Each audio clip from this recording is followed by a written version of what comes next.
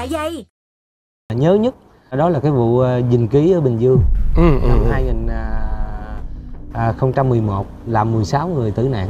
Thì đến là mưa mưa lất phất. Thì nước đang chảy và lục bình á là trôi kín sông luôn. Và báo là có tàu chìm nhưng mà không xác định được cái vị trí tàu chìm. Mà không biết vị trí nạn nhân này nằm ở vị trí nào mà mình tìm đến 12 giờ trưa hôm sau là anh em là lặn nguyên một đêm rồi. Sáng đó không nghỉ mà làm luôn tới trưa thì anh em là gọi là như hết và đến là gần 12 giờ trưa rồi gọi là đứng kia 12 giờ mình nhớ luôn là bản thân tôi là phát hiện được cái khoang là nạn nhân nằm tổng cộng là 10 15 người.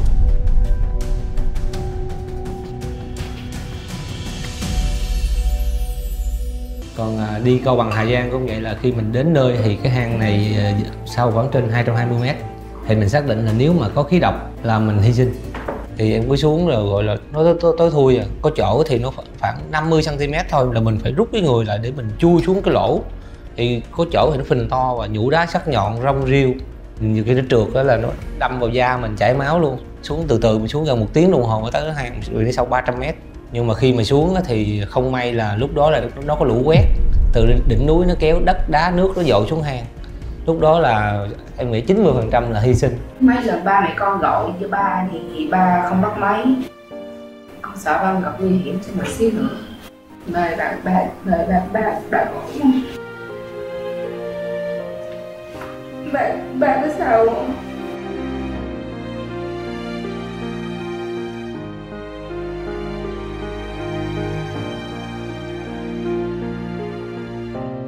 Ba ba mau làm việc về với con giúp mẹ.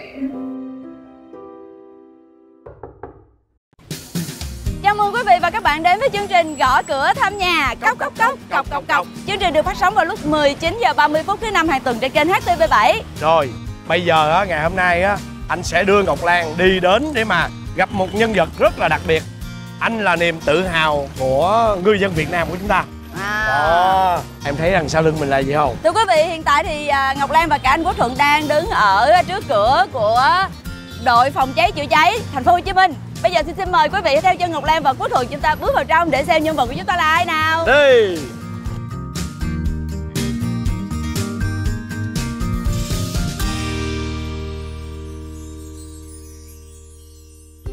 Ồ, Chào các anh. chào các anh à! Chào mọi người. Thôi, trước hết là Quốc Thuận với Ngọc Lan xin chào tất cả các anh chiến sĩ. Đây, Lan có nhận ra ai chưa? Đây là anh Thành, đồng chí Thành. Gì hả? Sao hay quá vậy? một người là thời gian vừa rồi là xuất hiện trên ờ, khắp các mặt báo luôn Rồi. vì cái câu chuyện rất là tích cực và rất là giỏi rất là anh dũng Hay quá!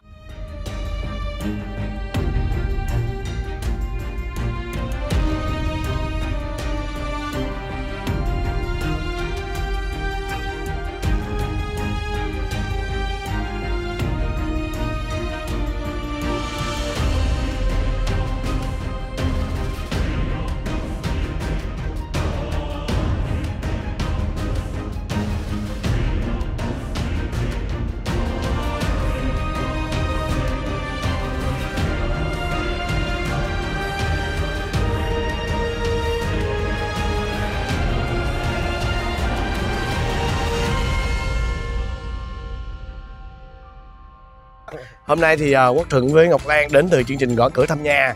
À, Rất là đặc biệt ở chỗ là bình thường là chúng ta chỉ có gõ cửa là thăm nhà thôi Nhưng mà hôm nay là chúng ta là gõ phòng cháy chữa cháy. Đó. mình cũng vinh dự lắm luôn đó. Đúng rồi và thay mặt chương trình gõ cửa thăm nhà gửi tặng anh một cái à, cái đồng hồ với thương hiệu gõ cửa thăm nhà Dạ. Cho Quốc Thuận hỏi cái này là mấy anh em đang làm cái gì anh dạ cái này là anh em à, là đang bảo quản bảo dưỡng phương tiện hàng ngày á Còn về anh Thành thì bây giờ mình gọi chính xác cái chức danh của anh á Nó gọi là gì? đội của em là đội công tác chữa cháy và cứu nạn cứu hộ tức là làm nhiệm vụ chính là làm công tác là chữa cháy và cứu nạn cứu hộ Đó. trên địa bàn thành phố ừ. Chắc em muốn đi ờ, tham quan các Anh- anh, dẫn mình sĩ tham quan gì hả? Rồi thì à, cũng giới thiệu với với, với anh là thật ra nào giờ mình nghe cứu nạn cứu hộ chứ rồi mình cũng à, cái này là gọi là à, điểm hơi là mình xài bằng cái bình khí. Có những cái nơi mà nó bị sập thấp quá mà mình không thể đưa những thiết bị à, lớn vào được thì mình đưa cái điểm hơi nào vào để mình mình đội lên. Rồi để đội- hai đồng chí thực hiện công tác cho mình. Rồi thử thử Dạ. thử đi anh giống như con đội của mình vậy đó à tức là mình đưa vô một cái cái góc kẹt vậy nè. Đúng cái rồi. là đội lên thì nó Đội- hở hở ra lên. từ từ. Và sau khi nó hở hở lên thì mình sẽ chim điểm và tiếp tục mình đội đội lên khoảng nửa mét hoặc một mét. Đó nè À. nhiều nhiều nè rồi. nhiều tức cái là điểm nó nè. nó tùy chịu. theo nó có thể là 5 tấn 10 tấn 50 tấn. Wow. Em đang tính hỏi là rồi. chịu lực được bao nhiêu ký? Ồ dữ lắm á. Những cái dụng cụ này thì mình lần đầu tiên mình biết anh ơi anh ờ, mình bắt đầu từ những ngày đầu tiên đi. Mình đi vô nghề này là từ khi nào anh? Tôi công tác trong cái à, lực lượng à, phòng cảnh sát phòng cháy cháy cứu nạn cứu hộ là đến thời điểm này là hơn 22 năm. Hai này thì à, cái đội của tôi là tới cái đúng cái trong mọi trường hợp trong đám cháy. Là đều phải sập đổ có công trình. Dạ. Hay là bị à, tai nạn đường thủy à, vân vân. Là có cứu nạn cứu hộ người dân yêu cầu là chúng tôi đều thực hiện hoặc là đi bắt tổ ong rồi xử lý trường hợp ngáo đá hoặc là những trăng rắn bò vào nhà hay bất kỳ cái gì mà dân yêu cầu là chúng tôi thực hiện hết. Anh có cái giai đoạn nào mà mình mới vừa đi làm nhiệm vụ về tới cơ quan vừa buông đồ ra cái là mình lại phải đi tiếp không anh? Cái này là bình thường. Vậy nhiều hả? khi là một ngày mình làm từ 5 đến à, 7 vụ là bình thường. Nhiều khi là mình mình đang làm cái vụ việc ở đây là mình chưa kịp về luôn đó. Mình mới vừa vừa xong mình chưa kịp thu hồi phương tiện thì báo tin là có một cái vụ ở quận khác là mình cũng tức tốc lên đường trời. Còn mình về nhà là đi liền thì đó là chuyện bình thường như cơm bữa. Tại Dạ. vì cả thành phố này mà làm công tác cứu nạn cứu hộ này là chỉ có một cái đội duy nhất. Cho nên là anh em rất là cực. Hồi nãy anh mới nói vụ bắt tổ ong là sao? Anh mình cũng chưa chưa chưa à, hình dung. Hay thường là mình mình liên tưởng á vụ mà bắt tổ ong á là chỉ ở trong rừng thôi à, còn thành phố Thì mình cái chuyện đó nó- sao nó mắc cười lắm Ờ. nó thì bây giờ à, ở thành phố mình là dọc theo đường à, anh cũng thấy là rất nhiều cây xanh À. thì tổ ong là nó có hai loại ong ong là ong ong mật á hai là ong ong bò vẽ mà ong bò vẽ là rất nguy hiểm Nguy hiểm Nó lắm. cắn, cắn là có thể là chết người cho nên là nó làm tổ á, là dân người ta báo báo à, lực lượng của nạn của hộ tới là xử lý. Thí dụ như xử lý sao anh? Đó. Thì nói chung là mình xử lý tổ ong là cái đặc điểm của ong ong á là ban đêm là nó sẽ không thấy đường. À. Mà nó thấy lửa là nó sẽ lao vào. À. Đó cho nên mình chờ đến tối à, mình à, Đốt lửa. đốt lửa mình quấn một cái đuốc mình quấn vào mình sẽ quan sát cái lỗ ra của con ong mình đưa vào là nó nó bay vào nó chết. Cái thứ hai nếu mà cái tổ này mà nó ở vị trí thuận lợi là lực lượng cứu hộ là sẽ mặc cái đồ bảo hộ và lên là mình sử dụng những cái tấm lưới mình trùm luôn. Sau đó mình cắt ngang luôn mình bắt sống luôn. Ồ, sống về xử lý xong về mình còn có thể là mình có mật nữa à, mình xử lý được. Mình chén được á. Dạ đúng rồi. À, là coi như à, chiến lợi phẩm. rồi vẽ thì con ông già là có thể là truyền thống như nó ngâm rượu được. Anh nhưng mà hỏi thiệt có lần nào bị ông chích không? Mà chưa. Anh đang định nổi anh đang định nói nổi chung luôn á. là bản thân tôi thì chưa nhưng mà anh em thì cũng có. Bị bị đánh qua đúng là không? tai nạn nghề nghiệp là chuyện À. bình thường. Anh trong 22 năm qua thì ờ, cái nhiệm vụ nào là nó ghi dấu ấn với anh nhiều nhất? Năm 2011 làm 16 người tử nạn đây là hình ảnh là bản thân là không thể nào quên được đó là một cái mất mát quá lớn. Khi nhận tin là vào buổi tối khoảng 6 giờ thì nói chung là chưa biết là cái sự việc như thế nào mà khi mà mình đến hiện trường gần đến hiện trường thì thấy khoảng từ 2, 20 đến 30 chiếc xe cấp cứu đậu. Thì cái linh cảm của mình là cái này là một cái vụ rất là Lớn. lớn. Thì khi đến là mình nắm được thông tin địa phương báo là 16 người mất tích. Và thời điểm đó khi đến nơi thì này là sông Sài Gòn ở ờ, ở địa phận Thuận An Bình Dương. Ừ. thì đến là mưa mưa lất phất thì nước đang chảy và lục bình á là trôi kín sông luôn. Và báo là có tàu chìm nhưng mà không xác định được cái vị trí tàu chìm. Rồi mới đó mới ghê đó. Đúng rồi sông á, thì ờ, Sài Gòn thì bị bề ngang của nó ờ, rất là rộng khoảng 500 m đến 600 m ơi.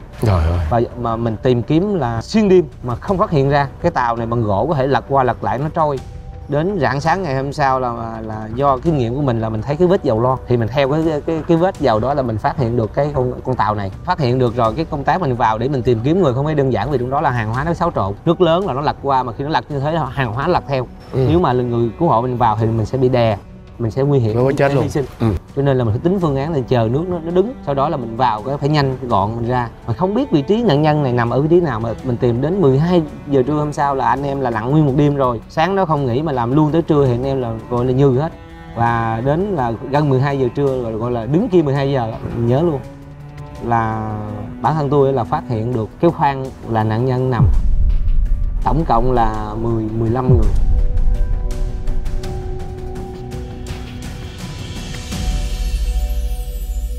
thì khi đụng người đầu tiên là đụng cái người mẹ, người nhà thì khóc.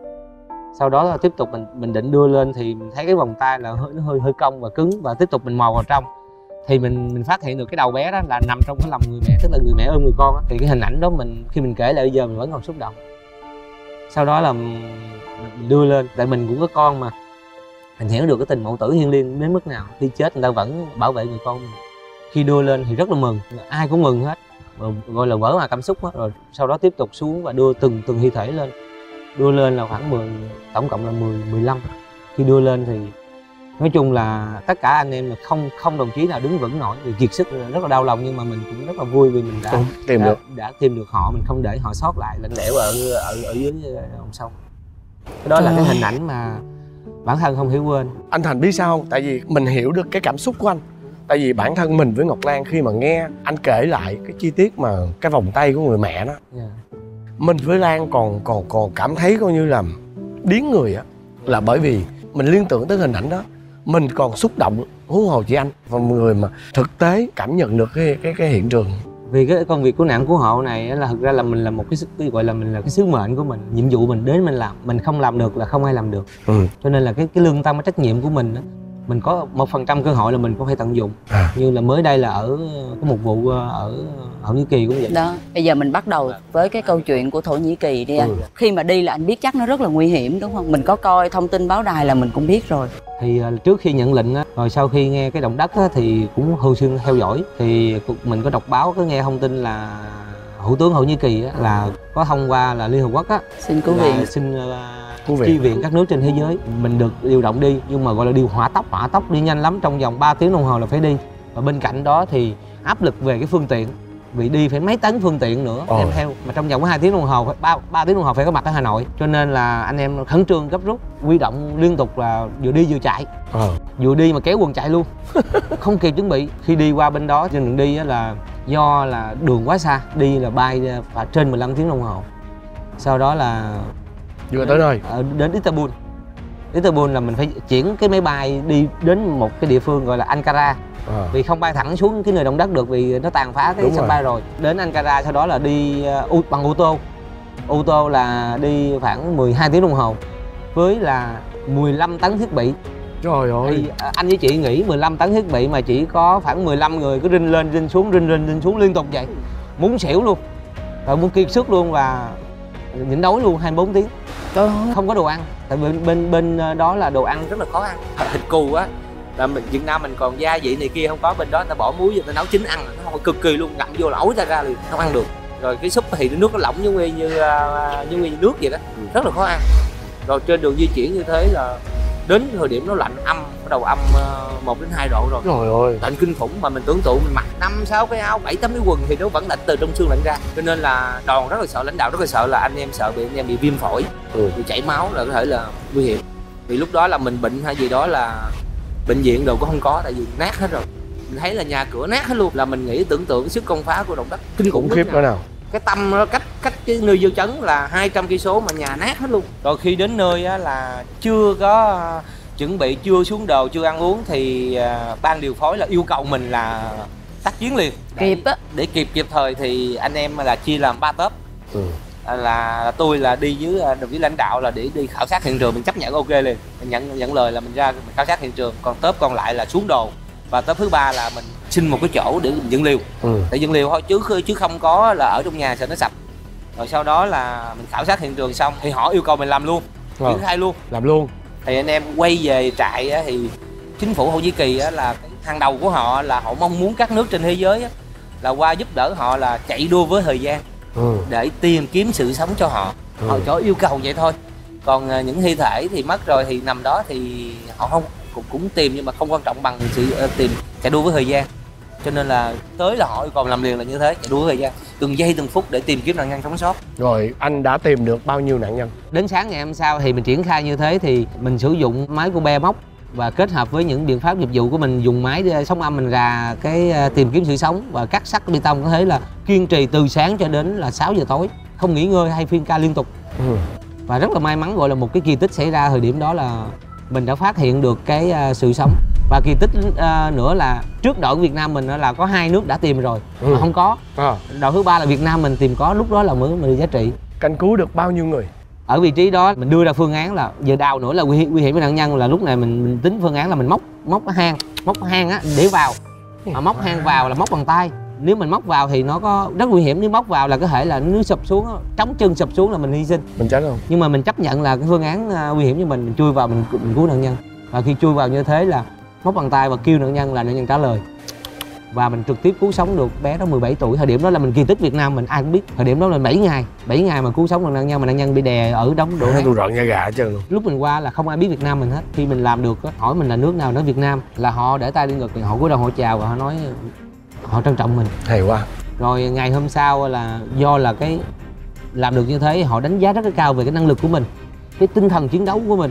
Cho nên là họ yêu cầu mình chuyển qua một cái địa bàn khác để tìm kiếm sự sống. Và cái ngày thứ hai thì cũng tìm kiếm nhưng mà không phát hiện được sự sống nhưng mà tìm kiếm được một cái gia đình này là nằm sâu dưới 10 mét.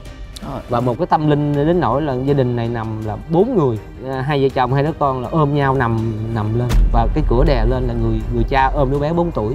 Rồi đứa bé 12 tuổi ôm người cha người cha là ôm vợ thì đưa lên rất là tâm linh. Khi mình phát hiện được thì à, là nước bạn họ nói thôi Việt Nam lên đi là để họ lấy họ nhào xuống họ làm nửa tiếng đồng hồ nhưng mà họ lấy không được. Lại kêu Việt Nam mình xuống.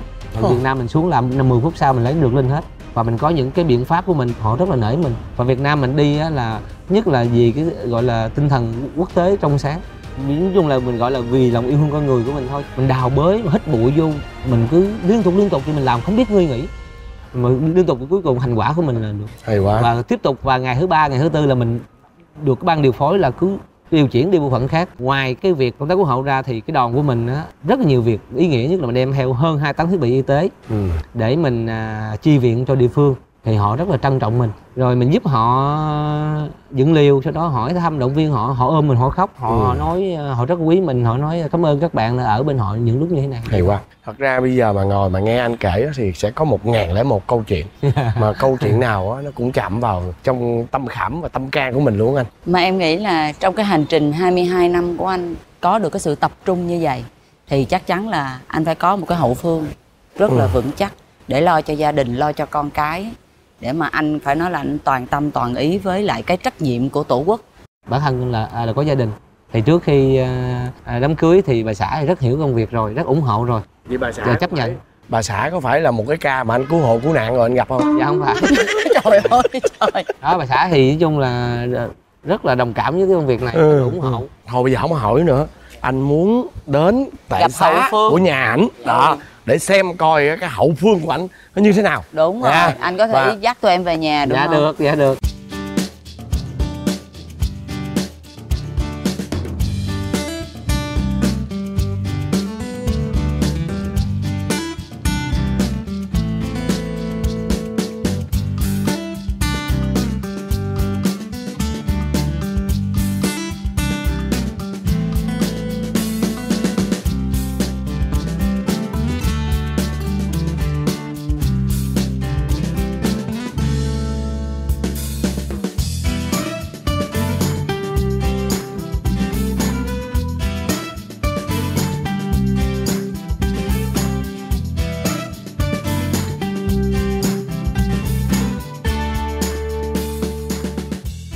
rồi sắp tới rồi. Đây. Rồi có khách tới nhà nha. Dạ. Chào chào chú. Chào hai con. Hai, hai gái em đây là bà xã em. Ờ vậy hả? Dạ. à đây là bạn lớn bạn nhỏ. Dạ thanh ngọc này thanh thảo. Anh ngọc anh thảo Dạ, là dạ. gì? Này là thị Cái này là này là động viên bơi lội á. Wow. Rồi mời anh chị vô nhà. rồi ở đây chúng ta nhìn thấy là có một cái gian bếp ở đây đó đây là được hai phòng anh phòng này với phòng trong đây là phòng khách Đây phòng Cái phòng ngoài. đó ở ngoài rồi Cái này là phòng ngủ. đúng ra đó là đến cái phần này là hai anh em mình phải wow Đúng cái. rồi. nhưng mà bữa nay ủa sao em không wow Ừ. Tại vì hồi nãy khi mà vô là em đã nghe được cái mùi thơm em có nghi ngíu qua cái À. bếp rồi là em thấy là chị đang nấu những cái món này. Ha. Ủa chị thắm hồi nãy là anh ờ, thành có gọi điện cho chị trước ờ, báo cho chị biết là quốc thượng với ngọc lan đến đây thăm nhà không vậy Dạ có. Chị giờ mình ăn chứ hả? hay ngọc với thảo nó buồn quá Sao vậy con? rồi Rồi, Rồi mà anh mời cả nhà. rồi hai cả nhà ăn cơm dạ rồi mời anh chị ăn cơm rồi rồi rồi rồi đó. Rồi mọi người ăn tự nhiên nha. ăn đừng nói gì chứ ăn xong rồi về Ừ, Ăn không nói. đây mời em Rồi. Mời anh. ngon quá Ừ, ngon quá không biết nói gì luôn.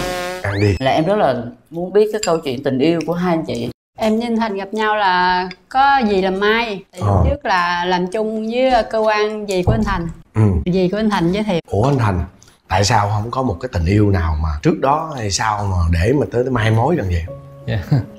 thì nói chung là trước đây là ở dưới quê á thì do hoàn cảnh cũng khó khăn cứ đi học xong rồi về đây làm mướn rồi làm thuê để dành tiền đi học cũng mặc cảm.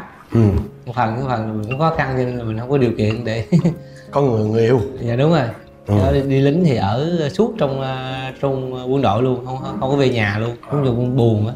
Bạn bè đi học đại học rồi ờ, cũng có điều kiện còn mình thì không có gì. Ừ. Nhưng mà đến khi nào mới chuyển ờ, mới được vào công tác ở trong đội cứu hộ cứu nạn? Đi đi lính ờ, 6 tháng quân trường sau đó là được phân về ờ, đơn vị là chữa cháy khoảng 6 tháng. Sau đó mà thấy có cái tổ cứu nạn cứu hộ này ý nghĩa xin qua xin qua xong rồi làm luôn tới giờ. Nhưng mà khi mà chị gặp anh á chị có biết rõ về cái công việc của anh hay không? Lúc đầu thì chị không biết. Lúc bởi vì ảnh làm mai thì dì ảnh chỉ nói ảnh là làm công an. Chị chỉ nghĩ là bên công an bình thường, công an phường, công an này kia bình thường Chứ không có nghĩ là ảnh bên chữa cháy. Ừ. Đến khi nào chị một mới thời gian sau thì ảnh vô à, cơ quan của chị ảnh huấn luyện trước chị làm ở à, bên nhà hóa phụ nữ á. Rồi sao? Rồi khi mà chị gặp ảnh ở nhà rồi mình có chịu liền không? Hay là chị bị phân vân vì cái công việc của ảnh? Đó công việc nó quá nguy hiểm quá vất vả luôn. Trước đó ảnh đã chữa cháy ICC rồi. Nhưng mà không có nghĩ là khó khăn như vậy. Sau này công việc của ảnh càng ngày càng vất vả hơn. Có cái nhiệm vụ nào mà nó khiến anh phải đứng trước cái cửa tử không? nhiều nhiều chứ thì nói chung là công tác của nạn cứu hộ là mỗi vụ là mình luôn đối diện với cái nguy hiểm. Còn à, đi câu bằng hà giang cũng vậy là khi mình đến nơi thì cái hang này à, sâu khoảng trên 220 mét thì mình xác định là nếu mà có khí độc là mình hy sinh. Tại vì xuống có người à thì nếu giờ mình mình xuống á, thì mình sẽ hy sinh bỏ lại vợ con của mình.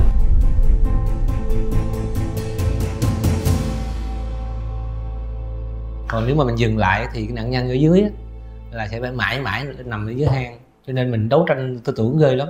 Cho nên giữa cái sự sống và cái cái, cái công việc của mình gia đình của mình mình đấu tranh ghê lắm. Người ta chạy ra mình chạy vào. Ví dụ như người ta bị nạn là người ta mong muốn mình cứu. Người thân của ta là sự muốn tột cùng để mình mình mình giúp đỡ họ. Cho nên mình chỉ là một cái sứ mệnh của mình phải làm. Các con có nghe những cái câu chuyện mà vào sinh ra tử của ba chưa? Ngọc ấn tượng nhất và ngọc cảm thấy cái câu chuyện nào của ba mà ngọc nhớ mãi không ngọc kể cho chú thuận nghe đi. Chú là ba con đi cao bằng Hà Giang Dạ là hôm đó là khoảng tháng 11 hay sao? Là ba nói là có đi công tác. Xong rồi mới biết là ba con đi cứu hộ nạn nhân bị uh, bị rớt xuống cái hang ở cao bằng Hà Giang gì đó. Xuống ba trăm mấy chục mét đó mấy lần ba mẹ con gọi cho ba thì ba không bắt máy sợ ba gặp nguy hiểm xong rồi xíu nữa. Phải nửa tiếng sau gọi cho ba thì ba bắt máy. Lúc bà bắt máy con nói cái gì vậy ba? Mời bà ba mời bà ba bà gọi. Ba ba có sao không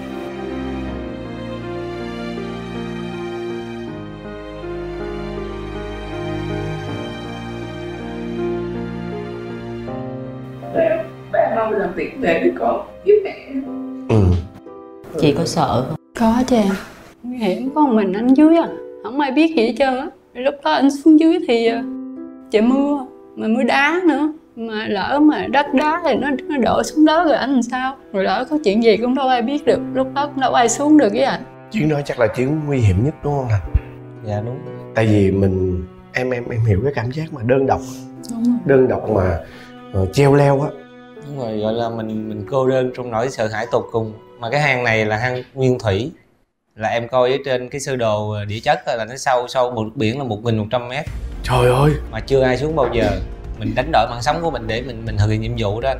Chuyên gia nước ngoài họ nói là họ không không làm vì nó quá nguy hiểm. Vì họ có thể xuống là 10 cây số luôn nhưng mà cái này nó quá nguy hiểm. Mà em là làm cái kiểu truyền thống là bắt con gà muôn gà bỏ vô cái vỏ sau thả xuống. Nửa tiếng sau kéo con gà lên nếu con gà còn sống là có dưỡng khí thì em cứ xuống rồi gọi là nó tối, tối, thui à. Có chỗ thì nó khoảng 50 cm thôi là mình phải rút cái người lại để mình chui xuống cái lỗ. Thì có chỗ thì nó phình to và nhũ đá sắc nhọn rong riêu. Nhiều khi nó trượt đó là nó đâm vào da mình chảy máu luôn. Xuống từ từ mình xuống gần một tiếng đồng hồ mới tới cái hang rồi đi sâu 300 mét. Khi xuống khoảng còn à, khoảng 70 mét nữa thì bắt đầu có cái mùi bốc nó là mừng rồi cái mùi thúi là mừng rồi. Và tiếp tục em xuống gần cách 10, 10, 10 mét là em rọi cái đèn pin nhỏ trên đầu này thấy nạn nhân nằm đó rất là mừng. Báo cáo bộ đàm lên sau đó là mà chuẩn bị những cái phương tiện của mình như là cồn rượu rồi những cái bao đựng thi thể để mình xuống. Nhưng mà khi mà xuống thì không may là lúc đó là nó có lũ quét từ đỉnh núi nó kéo đất đá nước nó dội xuống hang. Lúc đó là em nghĩ 90% là hy sinh.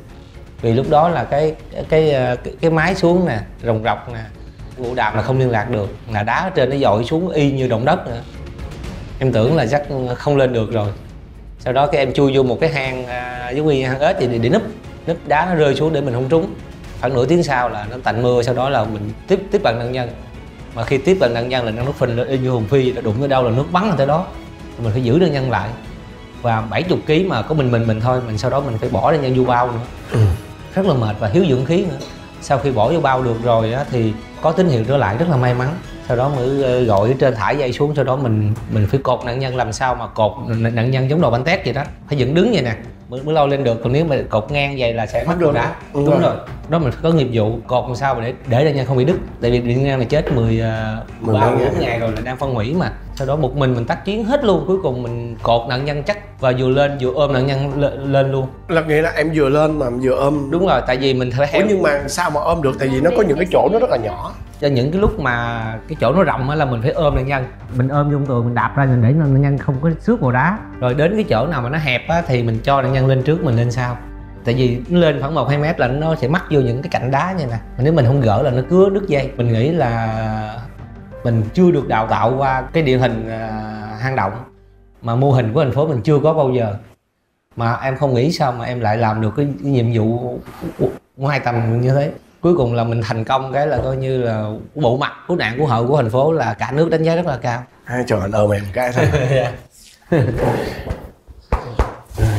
Thì nói chung là cái à, cái công việc của em á thì à, nó rất là nguy hiểm. Thì để được có ờ, có thời gian cống hiến thì cái sự hậu phương vững chắc đó, đó là gia đình ủng hộ đặc biệt là bà xã và và hai đứa con. Là rất là tự hào về công việc của của em thì em rất là là xúc động và hạnh phúc vì mình có một cái ờ, cái hậu phương quá vững chắc để ờ, toàn tâm toàn ý cống hiến cho ngành. Và bên cạnh đó thì bản thân em cảm cảm giác ờ, còn còn nợ họ nợ, nợ gia đình em á. Thì mình người trụ cột mà mình chưa có làm tròn được cái cái trách nhiệm của của, của người đàn ông. Nhưng mà vừa qua thì hơn 20 năm rồi mình cũng không có cái khả năng để mình, mình chăm lo cho gia đình tức là mình có người nhà đó thì sau khi đi, đi cái hậu gia kỳ về vậy thì là được ờ, là do cái cũng có một cái tích tớp là cũng nêu lên hoàn cảnh cái chỗ ở của mình nó nó nát bươm á. Thì rất là nhiều mạnh thường quân cũng muốn giúp đỡ. Thì cái chủ trương của ờ, của lãnh đạo phòng ban đốc thì cũng rất là quan tâm. Sau đó là phòng xin chủ trương thì ban ban đốc đồng ý thì cũng có mạnh thường quân hỗ trợ cho gia đình được có chỗ ở ờ, là căn nhà này. Dạ. trước đó thì là em ở đâu trước đó thì ờ, em thuê ở ở gần ờ, ờ, quận nhất á thì cũng phải thuê một cái này là gọi là cái cái nhà nát của một cái người quen tên kinh doanh bất động sản á, gọi là nhà nát thôi chỉ che tạm bỡ đỡ à. trời mưa thì nó ngập rồi nó vô hụt rồi nó sập nó hoài à. bữa đó nó sập hư mấy chiếc xe thắt của của hàng xóm kế bên mà hên họ thấy mình khổ họ cũng không có đền cũng mới thất thì á được quan tâm đến mình cũng đỡ, đỡ một phần cái cái nỗi lo vì người đàn ông trụ cột mà mình cứ lo đi làm việc ngoài nhà nước thì mình bỏ vợ con của mình không đi đầy đủ á thì mình cũng ấy nấy lắm. Thì chung ờ, về bản thân thì ấy nấy vậy. Cái cuộc sống lúc đó có khi nào mà khiến cho chị thắm cảm thấy là nó quá mệt mỏi mà thậm chí là muốn buông đi không? dạ không em chưa có suy nghĩ đó. Chưa bao giờ có ý nghĩ đó. Vì điều gì? Vì à, thấy anh vất vả công việc của anh vất vả vậy thì à, ba mẹ con cũng phải gán thôi có nhiêu sống nhiêu xã em là tuyệt vời luôn hy, hy sinh cho gia đình số 1 luôn. Ừ. không có phấn son không có sắm sửa bất thứ gì. Không có đi du lịch mà cũng không đi chơi đâu hết chỉ có biết gia đình vậy thôi. Hôm nay mình ngồi mình trò chuyện với nhau với một cái tâm thế nó rất là tích cực. Mình hãy nghĩ nó là những cái câu chuyện nó rất là tích cực. Ừ. Nó là những câu chuyện để lan tỏa và hơn hết Hai con phải tự hào về ba. Con có muốn nói một điều gì đó với ba hay không? Ờ, nếu mà con có một Viện cũng nói con nói là nếu mà ba làm không được thì đừng có cố sức đừng có cố sức gặp nguy hiểm rồi bỏ ba mẹ con không làm sao.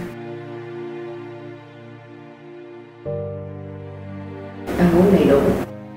Giờ có tiền ăn là sao? Con kiếm. còn kiếm. Ủa bây giờ là ngọc là đang trong đội tuyển đúng không? Là ngọc có lương không? Có. Ôi ơi. Không biết ờ, thành nghe cái câu của con gái mình như thế nào chứ mình xúc động lắm. Tại vì mình có con gái. À, nếu ba không làm nữa thì tốn kiếm ừ. thế em em có mong ước cho cái cuộc sống của thành sau này nó như thế nào hay không? Thì nói chung là em á là người rất là đơn giản. Là em không có nặng gì vật chất. Bản thân em á riêng bản thân em nghĩ là vật chất đối với em là nó nó là phù du thôi. Nhà cửa xe đối với em em coi như là nó là không có trong cuộc đời em vậy em dù lương em là đủ để nuôi con vậy thôi. Là em ráng làm để lo cho hai đứa nhỏ.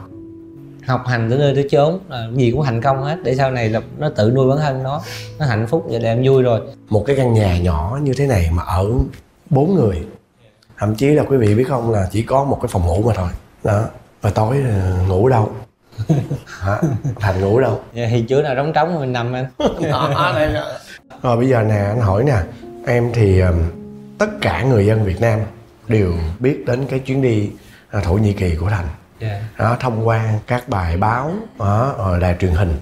Nói chung là lan tỏa rất là mạnh. Hiện tại thì là em có nhận được những cái phần thưởng nào? Cái công nhận hay là có những cái chiến tích gì mà từ chính phủ trao tặng cho em hay không? Trước đây mình xem bóng đá là- hay là thể thao mình thấy kéo cờ Việt Nam mình là mình rưng rưng. Còn bây giờ là mình gấp 10 lần như thế rất là tự hào. Và khi về nước á thì mình giống như người hùng trở về nước là được à, các đồng chí lãnh đạo ra tận sân bay đó. Sau đó giờ về đến sân bay là được à, bộ công an là tặng thưởng là bằng khen nóng tại chỗ. Ừ. Rồi sau đó là đoàn là được à, gặp mặt trực tiếp thủ tướng chính phủ ừ. và tặng à, bằng khen. Và bản thân em là được rất là vinh dự là được đại diện cho à, bộ công an lên lên phát biểu trước hội nghị.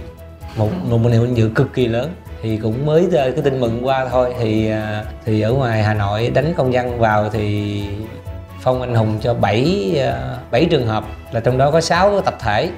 Và riêng bản thân em rất là vinh dự là cá nhân là được đề nghị tặng anh hùng lực vũ trang. Đó là rồi. cực kỳ hạnh phúc. Ôi vỗ tay đi. Trời ơi. Anh ơi da gà em nó nổi anh ơi. Dễ thương quá. Rất xứng đáng. Đúng rồi. Thôi thì bây giờ muốn hỏi thắm là một cái mong ước của một người người vợ mà gắn kết với chồng biết bao nhiêu năm qua ở như chia sẻ với chồng với cái công việc này thì cái mong ước của thắm đó là cái điều gì? Em thì ờ, chỉ ờ, mong ảnh á đi làm thì cũng hoàn thành nhiệm vụ mà cũng phải cẩn thận. Chủ yếu là cẩn thận là quan trọng nhất. Ừ. Cái gì mình cũng phải ờ, nhớ về vợ con cha mẹ. Ừ. Chứ không phải là ảnh nhiều khi ảnh cứ lao vào công việc ảnh không bất kể việc gì. Quên ăn quên ngủ nhiệm vụ của nhà nước giao thì ờ, cố gắng hoàn thành nhưng mà nhớ ờ, cẩn thận để ý tới sức khỏe mình nhiều hơn. Lúc này ảnh cũng cứ bệnh rề rề hoài chân cẳng giờ cũng đau hoài mấy khớp gối khớp cổ tay này kia ảnh nhức hoài à. giờ là bắt đầu có triệu chứng. Lúc trước thì ho trước khi ảnh ho cả mấy tháng trời không hết. Bị ờ, viêm viêm phổi do á. lặn nhiều với nước mình đang định nói đó. Cái nghề này chấp nhận. Em giờ là cái người là gọi là lão lan trong cái nghề lặn. Em đầu tàu á. Nghĩ em em đào tạo lực lượng kế thừa nhưng mà cũng thương anh em. Cái chế độ mà đãi ngộ không có cho nên là cũng tâm sự về cái cái lĩnh vực này. Được có chế độ cho anh em để có động viên tinh thần. Vì không ai cũng may mắn như em đâu. Tất cả những đồng đội đồng chí thì do cũng tác động từ gia đình như là cha mẹ là vợ con cho nên là cũng xin chuyển và xin nghỉ rất là nhiều rồi. Vì họ không chịu tốt lực. Và cái nghề này là nó, nó ảnh hưởng trực tiếp sức khỏe như là ung thư nội tạng là tai biến là vân vân rất là nhiều. Nhưng mà được bù lại là một cái nghề rất là nhân văn. Em có dự định là đủ rồi. Những gì chúng ta làm nó đủ rồi. Và sẽ cần cái thời gian tập trung cho bản thân mình và cho gia đình. Không cái này là em đã lời dứt phát liền không cần phải suy nghĩ. Đó, nếu trường hợp mà em còn sức em có thể là em làm đến trăm tuổi luôn riêng về cái nạn cứu hộ. Là em không không có một cái suy nghĩ phải dừng lại. Công việc này là nó rất là nhân văn. Nếu như em giờ chỉ cần đi cứu hộ cứu được người sống thôi là em về em lân lân mấy ngày sung sướng cái kiểu như mình mình tìm được tài sản gì lớn vậy đó. Rất là là, là vui. Cho nên là cái, cái nghề này ăn vào máu rồi. Cho nên là gia đình cũng cũng không cảm. Giờ cho chọn lại em vẫn chọn cái nghề này. Không có gì hối tiếc hết em rất trân trọng cái điều này của anh. Dạ. rất là trân trọng. Dạ. Thế thì anh có muốn nói cái gì với ờ, người đồng hành với mình hay không anh? Thì nói chung là bà xã em là người rất là tuyệt vời. Cái nhất là về cái cuộc sống người phụ nữ mà người ta cần là những cái cái sự chăm sóc của của người chồng thì cái này em còn còn nợ bà xã em nói chung là em cũng hay cũng hay cọc cằn. Không vừa lòng thì hay cũng la lớn này kia. Cái hai là về lo cuộc sống cho bà xã em á. Em chưa lo được gì nhưng mà bà xã em không bao giờ chưa bao giờ nào mà càm ràm em bất cứ một cái gì về cuộc sống và công việc. Em rất là trân trọng nói chung là có kiếp sau thì cho em gặp lại vợ em. Dạ để em trả ơn. Dạ. Trời. Thật sự xúc động lắm. Em người biết ơn nhất là là xã em thật sự em à, rất là biết ơn tại vì bà xã em hy sinh em rất là nhiều. Em nói thiệt trên thế gian này không có ai mà qua được bà xã em. Cảm ơn anh rất nhiều. Dạ. Cảm ơn chị là một hậu phương và đã luôn ủng hộ anh để mà anh có thể cống hiến một cái khoảng thời gian nó quá dài như vậy. Tương lai thì em nghĩ chắc chị cũng sẽ ủng hộ anh thôi. Để làm theo cái mong nguyện của anh. Và em luôn ủng hộ anh em luôn ủng hộ anh. Anh cứ làm theo cái niềm đam mê của mình Dạ. ờ, theo cái tâm của mình. Làm đến khi nào mà ok mình cảm thấy là mình không mình không còn sức để làm nữa. Thì Dạ. mình gần mình về với gia đình. Dạ. Mình và Lan sẽ rất tự hào khi được đồng hành với anh trong số này. Để được lan tỏa cái điều quá đẹp đến cho tất cả mọi người. Và trong đó có những người thân của các nạn nhân đã được anh cứu sống được anh giúp đỡ. Dù còn hơi thở hay không còn hơi thở nhưng vẫn được về nhà với gia đình. Dạ. Xin được thay mặt cho tất cả những người dân ở Việt Nam cảm ơn anh Thành. Dạ cảm ơn anh. Cô Lan cũng chúc cho hai con là bơi giỏi nè rồi sau này sẽ cũng là một chiến sĩ giống như ba có thể là mang về cho Việt Nam những cái tấm huy chương về bơi lội. Đó là cái mà cô rất là mong muốn Ừ. Và cô nghĩ là tụi con sẽ làm được điều đó Ừ. thì nhân đây cũng nói với quý vị luôn là anh Thành nhận dạy kèm bơi cho các bạn nhỏ nha Ừ. bạn lớn anh Thành cũng dạy luôn Đó. thời lượng của chương trình thì hết rồi rất tiếc là chúng tôi phải nói lời tạm biệt với quý vị quý vị đừng quên khung giờ phát sóng của chúng tôi 19 giờ 30 phút thứ năm hàng tuần trên kênh HTV7 bây giờ thì chúng tôi xin phép được chào tạm biệt và hẹn gặp lại